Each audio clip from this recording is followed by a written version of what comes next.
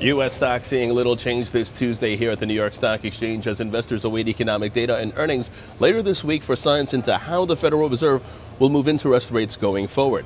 Investors coming into the new year worry that higher Fed rates could tip the economy into a recession, but many appear to be placing bets that inflation is starting to ease in the early days of 2023. Meanwhile, in the forex market, the euro dollar is where we begin. That sees the upside prevail as the pair remains on the upside above the horizontal support at 10690 and challenging its moving averages. Long positions above 10690 are favored with targets at 10760 and 10790 in extension. The British pound US dollar pair that's trading under pressure while the US dollar Japanese yen pair that sees the upside prevail. Now the Bitcoin dollar intraday sees the upside prevail as long as 17,130 is the support. The pivot point 17,130.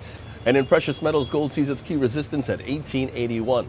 Gold is pulling back but remains capped by the resistance at that figure, so short positions below 1881 are favored with targets at 1867 and 1864 an extension.